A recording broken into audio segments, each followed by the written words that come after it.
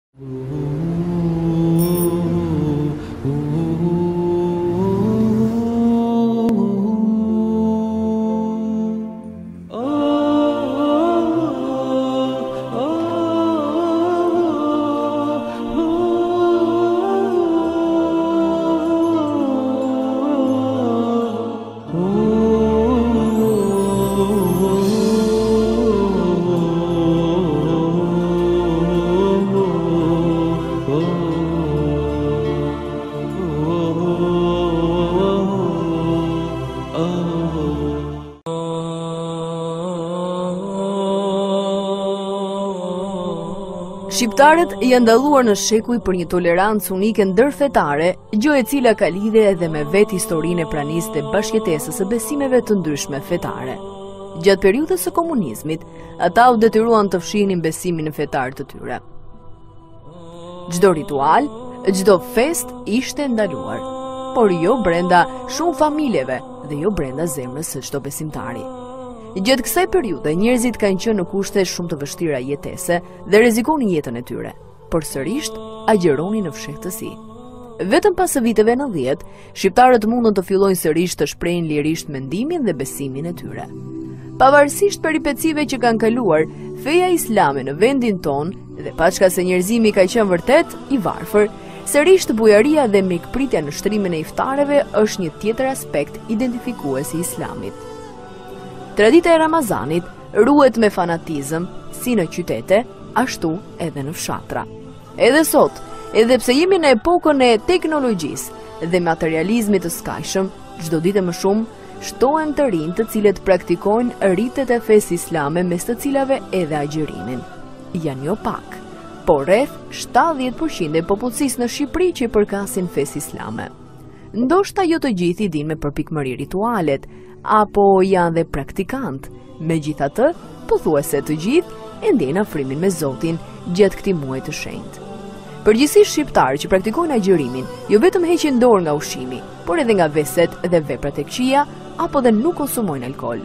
Sigurisht, nuk mungojnë dhe namazet në xhami dhe shtëpi, por edhe leximet e Kuranit të Madhërishëm. Allahu Akbar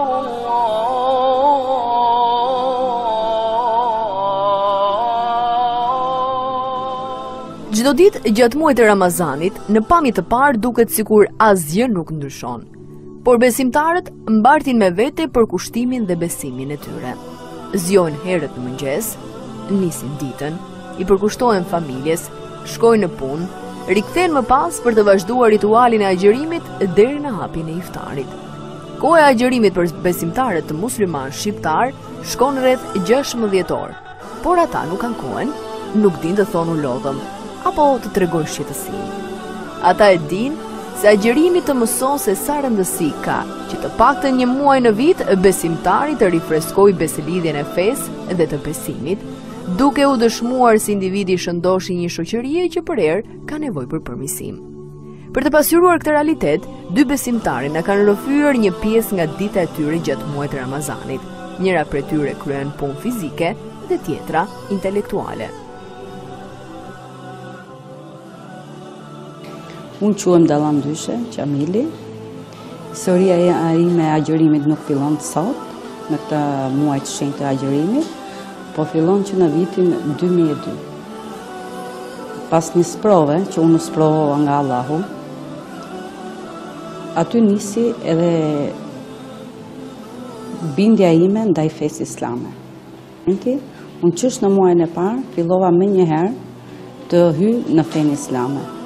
Dhe domethënë, dua t'përcjell edhe një mesazh me këtë, të gjithë atyre njerëzve që kanë një gjendje shpirtërore të keqe, ose që ndjehen keq për çdo veprim që ato bëjnë, të mbështeten vetëm tek Allahu i Madh.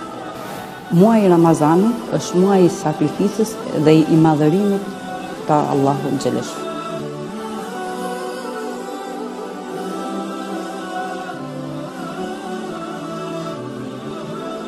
Jam Afërdita, punoj si operatore në një institucion prej 28 vitesh.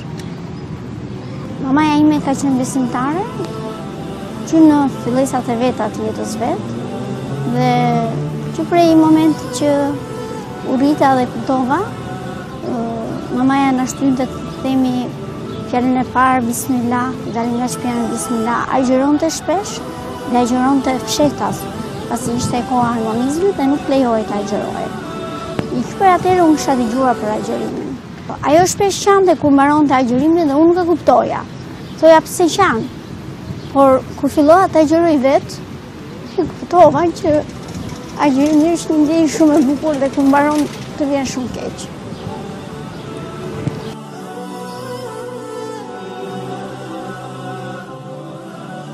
Një ditë mamaja më tha që sot është natë kadri dhe do agjërojmë se është shumë mirë të agjërosh. Dhe unë fillova të agjëroj si pa e kuptuar. Kështu vite pas vitesh agjëroja një ditë, dy, tre ditë dhe më pas fillova një kurs për islam dhe aty fillova të agjëroj të gjithë muajin e Ramazanit. Dhe kështu që prej atëherë u bënë shumë vjet Më shumë se 17 vjet që unë agjëroj gjithë muajin e Ramazanit. Ka një veçanti të madhe të popullit shqiptar që pret këtë muaj të shenjtë të Ramazanit, duke u rënë daulleve, e duke fjetur herët dhe më pas për t'u zgjuar po herët në mëngjes për syfyrin. Rënia e daulles është njoftuese për orarin e mbylljes së syfyrit dhe më pas të hapjes së iftarit. Për sa i përket iftarit në të gjitha trevat shqiptare, Është traditë që të hapet gjithmonë me një gotë ujë për të rregulluar metabolizmin e trupit që nuk ka patur ushqim për një kohë të gjatë. Ndërsa, vitet e fundit, kjo traditë është këmbyer edhe me përdorimin e hurmave të Arabisë që vijnë me shumicë nga vendet arabe gjatë kësaj periudhe. Tradita e shqiptarëve është që iftari të hapet me petulla me mjaltë ose me reçel. Pastaj vijon me supë dhe gjella tradicionale shqiptare është kima me vezë, ndërkohë që disa krahina përdorin dhe si pije madje pekmezin e rushit dhe të kumbullës të tretur me ujë.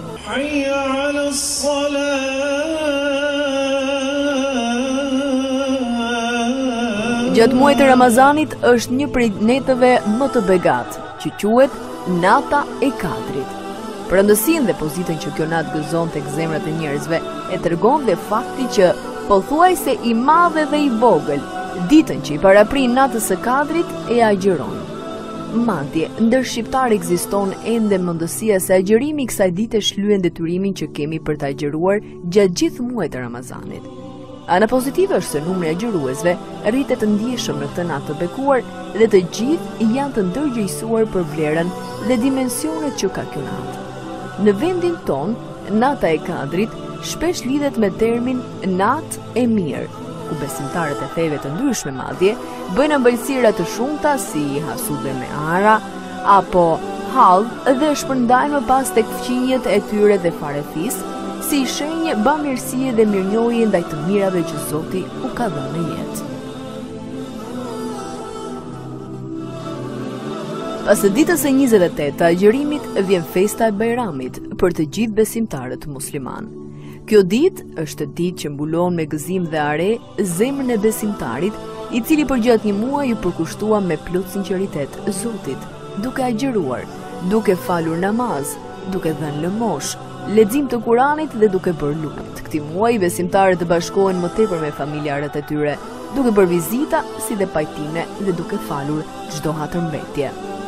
Muaji i shenjtë i Ramazanit nuk është vetëm gëzim, por edhe trishtim që mbaron kaq shpejt. Por gjithsesi,